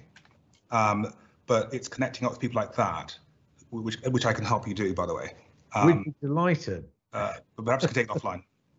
No, that, I would also would just add on staff, if I might, that I think um, throughout this period, I have never seen organisations offer so much, whether that's enhancing their occupational health, looking at other wellbeing offers, working with the hospital padre, other uh, faith leaders, other community resources for staff. Um, the mental health hubs that I mentioned earlier um, are really, if I, I think of it as a pyramid, is at the top of that pyramid where all of those other interventions um, uh, somebody's still suffering to a degree where you know their their life is being affected. And we wanted to as an NHS ensure that we could fast track assessment and confidential treatment where a colleague needed it and these hubs have been quite incredible but they can't replace and shouldn't be instead of those well-being offers and we've had to mobilise at such speed and I'm so impressed with what colleagues have done across the country, um, across the sectors. But I think you you raised an important point of how we learn from the best of those schemes, because I am hoping, and I think many of us are, that a permanent legacy of COVID will be um, a more robust offer around staff support and staff well-being not necessarily mental health assessment and treatment alone, it's all those other things. So I'm sure Prerna and others will want to look at how we um, share the best practice and what we've learned during this period, because some quite incredible things have been put in place for colleagues over over this time. And what you've done, I'd love to learn more more about that as well and get the evidence. We should take that offline. And, and well, just um, so you know, we, have got um, a, quite a significant financial commitment from the government and from industry to do address exactly the point that your donor friend is also addressing. You know, how do we get new um, innovative therapeutics, digital and pharmaceutical, out there to address some of these issues? So maybe we can pick that off, off offline as well. Um, Andrew Morris. Thanks, David. Um, I just want to pay tribute to the Mental Health Liaison Service and the progress you've made with that, Claire and Tim. It's such an important service. It does make so much difference to the patients who tend A&E with a mental health problem, and it makes a big difference to the staff in A&E who've got the reassurance and the right level of support to treat people.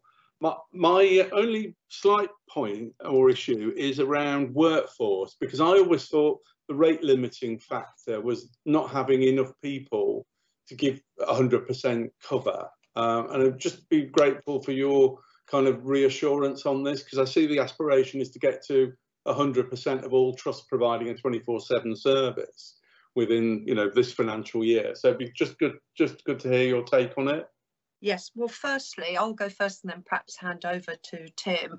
Firstly, thank you, Andrew. There are many aspects of mental health provision that exist in our country now that didn't exist universally three or four years ago.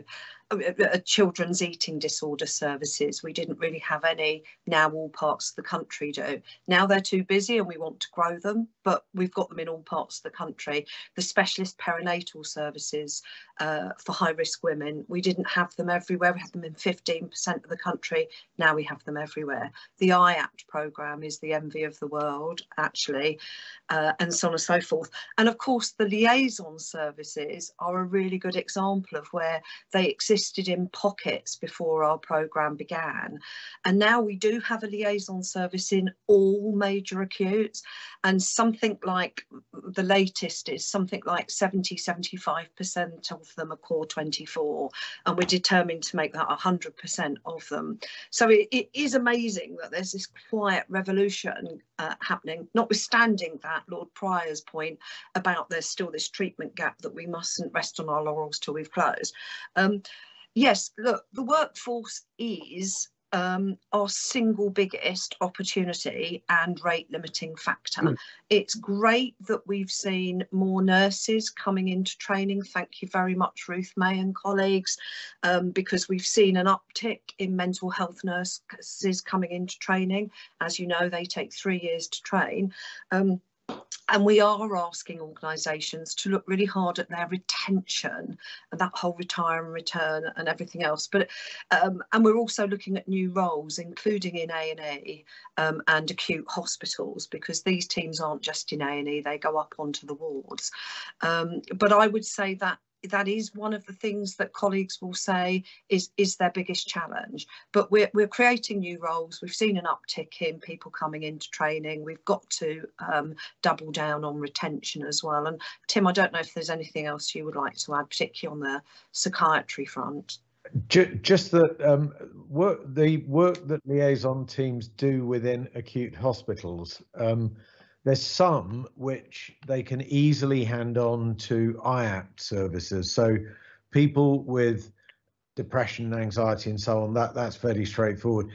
But also people with physical health problems who've got associated anxiety and depression uh, and so on. Now, they can go into IAPT, and we've got some really good evidence that was published earlier this year, which shows that for every pound you spend on the psychological help for people with chronic physical health conditions, you save two pounds for the rest of the NHS. So it's a really, really important area. But um, the other group of people that we see in liaison really require quite a complex response, and they usually need psychiatrists, and that is a, a bit of a, a, limiting factor at the moment. Where um, we are we are we're full. We've got all our posts, I think, pretty much full at consultant level, but we need to expand them more. And I, I think we will struggle to get a full set of consultants in A and E uh, by 2027 across the board. That will it'll stretch us. I think the other thing I would say is, so, sorry, just one last point Mm. bringing certainty around workforce planning, which which very much rests on certainty around investment, has been an incredibly important important part of our programme to date. So three years ago, we said what each year's trajectory would be ac across all of the programmes. And we've been really actively working with HEE since to make sure that we're doing as much proactive planning and new role development as we can. But it, it's our biggest challenge, no doubt about it. Ruth. Yeah, very briefly to build on the uh, comments about nursing workforce. So normally we would train 3,500 student nurses a year in mental health. Uh, this last uh, year, we've started with 4,800, so it's a big increase. Now, they're not going to be ready for another three years, but there's a great uh, story to tell about a pipeline. So thank you to Mark Radford and HE colleagues that have supported that. And of course, then Claire will know that we um, have building on the international nurse recruitment, um, looking to support uh, international nurse recruitment with the nurses with a mental health uh, skill and experience. So that I hope will start to uh, support Claire and the team. And there's never been such interest in working in mental health. So I think COVID especially has piqued everybody's interest. Society's talking more openly than it did about the impacts of in this case COVID, but on people's mental health. And I think it absolutely behoves us over the next year, two and three, to really draw on that interest to bring people in through apprenticeship routes, which are, for example, which are not just uh, for the more lowly graded posts or more entry level posts. You can have apprenticeships at degree level and master's level. So I think we really need to take this opportunity. And I know provider colleagues across the country um, and others are doing some phenomenal work looking at, at how we draw on local communities, different routes into psychiatry and mental health, as well as through the more traditional routes um, and, you know, training our doctors, nurses, therapists, OTs, etc. Claire, um, thank you very much for that. And Tim, thanks very much. Tim Kendall, that is. Um, thank you both very much for joining us. And I mean, the work you do is incredibly important. Um, keep at it. Thank you very much. Thanks, David. Thank Thanks. you. It's a privilege. Thank you. Thanks, Claire. Thanks. Bye. Um, so moving on to the next item, which is maternity and neonate services. Um, Ruth, I think perhaps you could introduce um, Jackie and, and Aidan.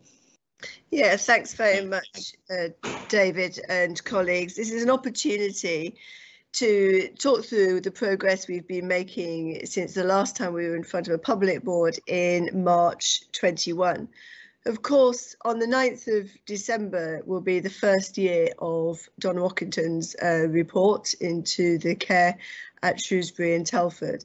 So first off, I'm going to ask Aidan to give you an update on the review and uh, the others too, and then I shall kick off with the main body of the report. Aidan. Thanks, Ruth. Um, so there are three um, reviews that you'll see outlined in the paper. Firstly, um, in East Kent, um, that's underway with Bill Kirkup as chair, and we're expecting to see a report from that um, in the sort of second half of next year.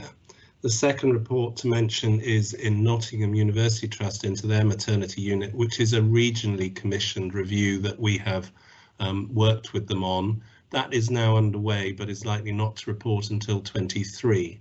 Um, just to update on the Ockenden review, as you know, this is much the largest review and they have considered um, 1,862 cases, not all of which I think will be included, but the majority of which will, um, and um, had been expecting to produce their second and final report by the end of this year, but have asked for an extension. There were some um, further papers forthcoming from the trust, and there was a very high volume of cases so they have um, they wrote to the Secretary of State and had had a letter back this week from um, one of the ministers, Maria Caulfield, to um, accept that they will publish the report either on or potentially slightly before, for logistic reasons, the 24th of March next year. Um, and uh, they are still um, meeting with the minister to agree um, processes to follow that for feedback and so on. But we would expect that report therefore next year, which um, will be reporting into a very significant number of cases um, in that trust. Thank you, Aidan. So you'll recall that the board agreed at its meeting in March earlier this year that we would have 95.6 million pounds, mainly for midwifery staff, obstetric staff, and then of course for multidisciplinary training. I'm pleased to say that with midwifery staff first, we'll talk about, pleased to say that we said that we wanted 1,200 new midwifery posts, and indeed those have uh, trusts have um, put those posts into their establishments, which I'm pleased to see. Of course, we had 600 midwifery vacancies at the start of, uh, of this before uh, Ockenden uh, reported.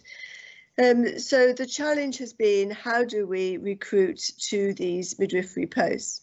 I'm pleased to say that already we have got the 500 um, new student midwives uh, uh, off the onto the register, and so that is starting to be uh, making a difference.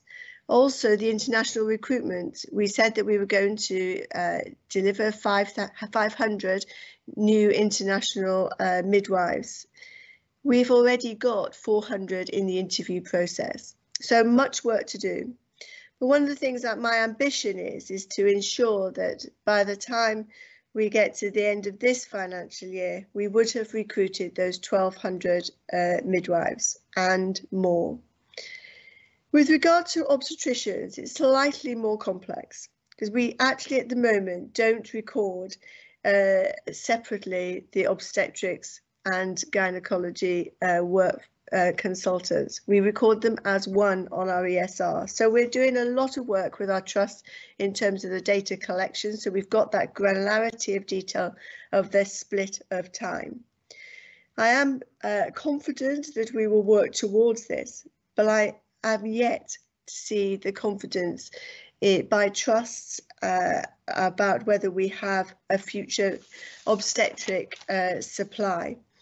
We are working extremely well though with the Royal College of Obstetricians and Gynecology and they were being funded by the DHSC to develop a comprehensive obstetric uh, work plan and model and I'm pleased to say that that is progressing very well. We, you'll remember that we asked Trust in our letter in on the 14th of December last year to work through uh, Donna Ockenden's uh, immediate essential actions. I'm asking the board today uh, to make sure that we ask our trusts again to take to their paper, to their board in public in quarter four their progress against that those actions. To me, it's important we have that transparency at a local level. The next part then, just want to just uh, highlight to you is around uh, the maternity uh, safety support programme. Work is continuing and there's more detail in the appendix, There's more work is continuing to really align that into our other improvement work that of course Tim and Hugh uh, are leading. The digital maternity programme is progressing and uh, uh, I'm really pleased. And I know Baroness, Baroness Cumberlege is particularly pleased that we're starting to really make progress. Indeed, over 100 bids came in um, by the 15th of November deadline, and we're currently going through the process evaluation process. With regard to neonatal, and that's a, a neonatal is just as important uh, uh, part of our maternity services. It's been part of our long-term plan to enhance the experience of families and to increase the expert neonatal work.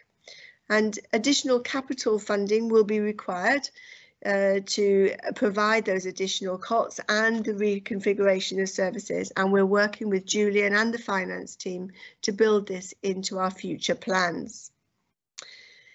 Continuity of carer uh, is the right policy for safety of women and their families. But what we have done is listened to concerns raised by the Royal College of Midwives, by uh, heads of midwifery and others about its implementation. So Professor Jacqueline Dunkley-Bent, in conjunction with other midwifery leaders, um, published a, a new continuity of care guidance recently that puts into place, articulates, puts into place the building blocks to ensure that continuity of care can be delivered safely. So finally, the next steps. I would like to uh, ask your permission um, that our trust chairs and chief execs review their progress against the Ockenden in, uh, immediate and essential actions. We will continue to align the maternity safety support programme with uh, our, our, other system oversight uh, work. The leadership development is going to be really important that we continue and we will work with Julian and the finance colleagues to, on, to look at the ongoing investment of uh, into maternity services for additional midwives and uh, obstetrician workforce as well as for capital. Chair, can I just quickly ask um, Jackie Dunkley Bent just to talk about her equity strategy that she published and indeed very quickly um, uh, Matthew Jolly to just talk about the work with the Royal College of Obstetricians. Thank you, Ruth. Um, so on the 6th of September this year, we published the Equity and Equality Guidance, and that guidance reflects five health and equality priorities that are reflected in the planning guidance. And this, this guidance is really significant in ensuring equity for everybody that uses our maternity service, regardless of skin colour or socioeconomic status. Now, the equity strategy um, includes an action plan, aligns with the ICS health inequalities work, and indeed is one of the core 20 plus five clinical priorities. It includes the evidence-based interventions, resources, indicators, data sources, etc. In addition to that guidance, we published four pledges for women and babies, and those four pledges are really significant in terms of public confidence about our ambition to reduce the equity gap. And the pledges are integral to the document, so I won't read through them in detail, but that's all I'll say for now, Ruth, about the equity strategy. Jackie, is there anything else you wanted to say more broadly about midwifery?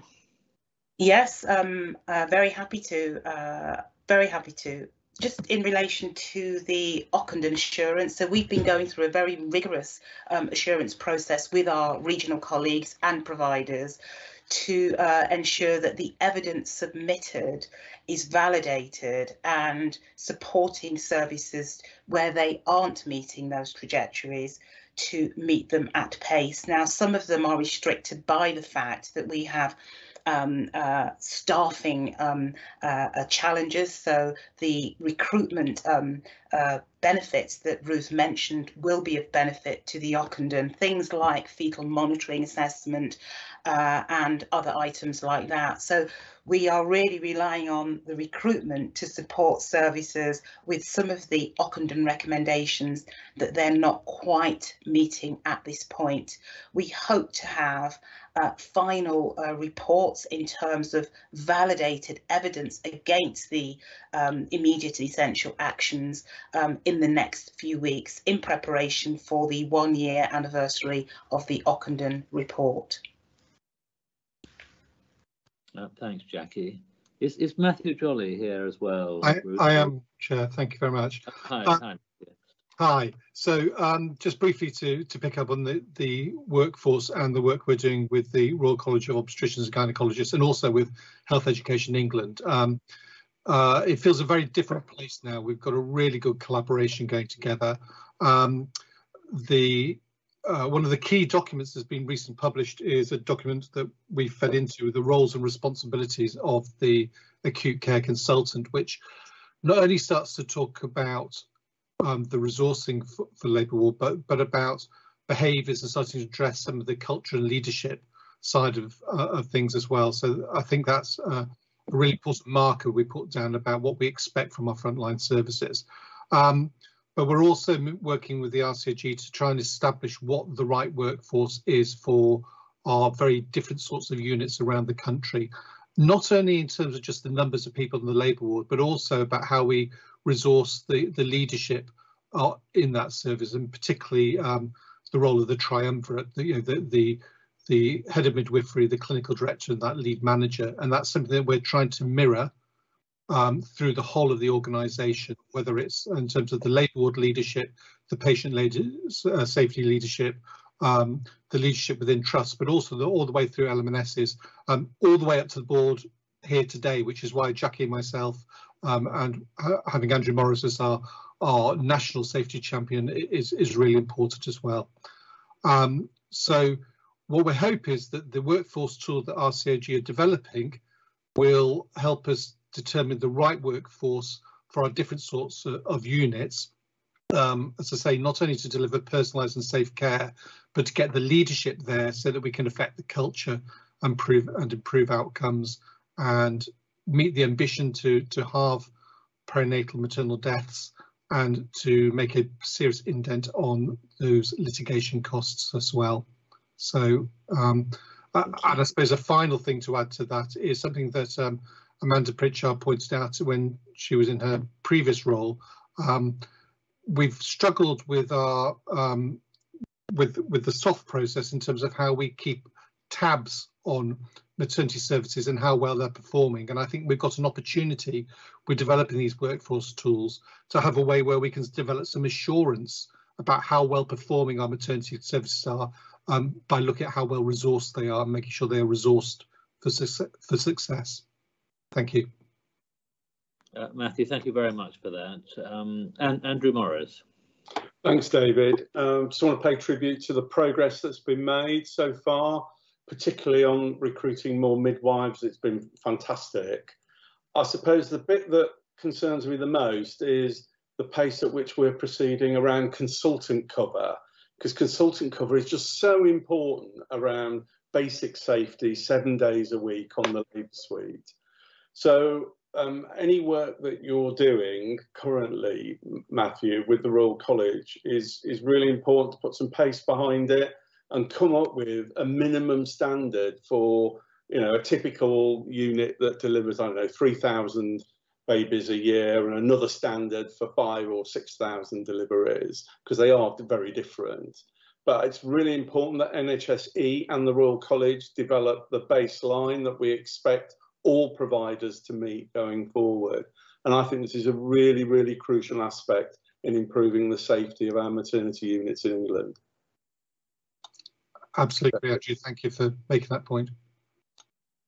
Can I just ask, this may be a very stupid question, Matthew. Uh, you're an obstetrician and a gynecologist, is that right? You are both, is that correct? Um, I was trained as both, and then I subspecialised into fetal medicine, and um, uh, I, I, dropped my gynecology uh, a little while ago so that I could do everything else. But that that has created challenges in my own unit because we do need to um, make sure that we can deal with those emer gynecology emergencies as they come through at night, um, you know, the ruptured ectopics, etc. So um, we have now a couple of absolute specialist gynecologists who are on call when I'm on call, so I can cover the maternity emergencies, they can cover the gynae emergencies. So um, I think it's a there is definitely a direction of travel of more specialism in both obstetrics and gynecology, but we do have to think about how we maintain our emergency gynecology service in small units. So I, I see um, there being more obstetric only posts in the future and more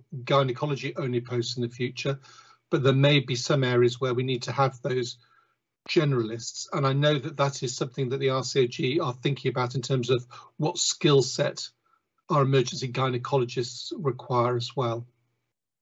Good, thank you. Uh, David Behan. So um, uh, thank you, Ruth and colleagues, for the progress, and it's good. It's good to see uh, the progress. And um, can I just endorse the comments that were made about the joint work between Health Education England, um, both by Ruth and colleagues, but also by Claire and Tim earlier. But um, the question I want to explore, um, Annex A lists the trust in the Maternity Safety Support Programme. I'm just trying to connect the actions and the next steps which are described in the report and our confidence and optimism about the speed at which those um, 23 trusts are going to get off that list and into a better place because I guess if I was um, an expectant family in any of those areas, my degree of confidence might be very low. And I, am coming at this quite deliberately from the perspective of people using services and the confidence we can take. So it's not to pick holes in what you've said, Ruth, but I just think there's an important um, dimension to this, which is not just about the workforce, etc., but it's about how people experience these services and, and just that degree of confidence people need. Uh, and, and that's what I'm interested in exploring. Thank you. David, thank you. So absolutely, HE colleagues um, have been part of this work, whether it's uh, with the future obstetrician workforce or uh, midwifery workforce, they are part of that. So, uh, and I'm grateful for the, uh, well, one team. Um, with regard to the maternity support programme, so it's really important that we uh, amended the criteria back some time ago now to not to be uh, wait until the CQC had given them a red rating, but to move into let's support people before they get to that. And so moving much more upstream. And I think there's a bit further work that we are going to need to do to make to go even further upstream.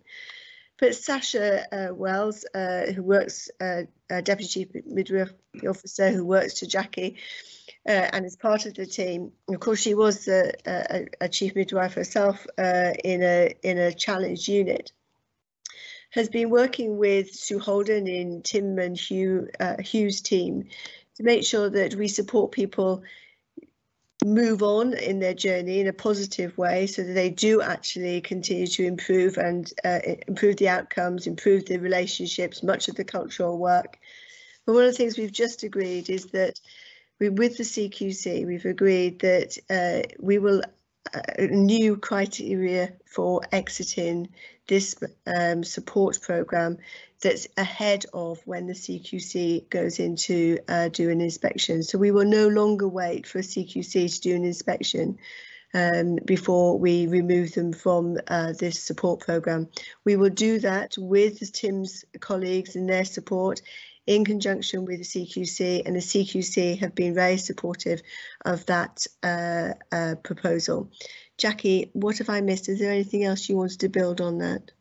Um, just to say that we have prioritised um, staffing numbers for the trusts on the maternity safety support programme. We also have regional obstetricians um, working alongside regional chief midwives to support providers with the maternity improvement advisor. Um, and also, just lastly, uh, myself, Matthew Jolly, Sascha Wells-Munro, regional chief obstetricians and regional colleagues are cantering around England speaking to every exec team about maternity safety and talking about reassurance and assurance and really focusing on some of the self-assessment items that will enable you to uh, provide a safe and sustainable maternity service. So just a few things to add there. Thank you, Ruth. Thank you, Jackie. Just, Matthew, just one last question for you. I mean, if you had to, if we had to rely on just three-ish predictive indicators about the future safety of a maternity unit, what, what, would you what would you focus on? What, you know, what are the one or two big things that you you would focus on to be able to try and get a view as to whether or not a maternity unit was going to be safe in the future? The first one would be: Are they resourced properly in terms of workforce?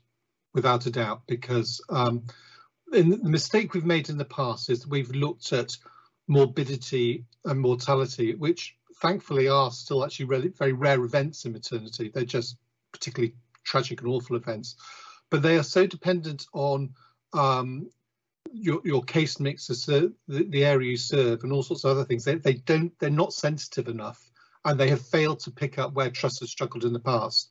But what we know from the maternity safety and support program is that the trusts that run into trouble are often the ones that are most poorly resourced. So workforce would be my my first one. I think I'd like to do something. Ideally, I'd, I'd develop some patient recorded experience measures and start to feel what it's like for the women who use the service. That's what I I think that would tell us a lot more. Um, so that would be my second one. Um, the third one I think would be a, something to do with staff morale, probably. I think then the clinical outcomes, we will have dashboards and other ways of then seeing what the outcomes look like. Um, that's off the top of my head. Perhaps if I had another 10 minutes, I might do something more about clinical outcomes. But uh, um, th there are, as we've seen from the Health Select Committee work, um, trying to performance manage trust on things like cesarean section rates ends up being an absolute disaster. People work hard to, to, to meet the rate rather than putting women at the centre of our decision making. And what we need to do is make sure that not only our services safe, but they're personalised. Um, so I'm really keen that we don't lose that approach. Good. Um, thank you. Well, Matthew and Jackie and Ruth, thank you all three of you and Aidan as well very much for the work you're doing in this area. It's really important. Thank you. Right, um, the, the last item is the public participation assurance, which I think is just for noting, unless anyone's got a, a comment they want to make. In which case, any other business? No, good. Thank you all very much.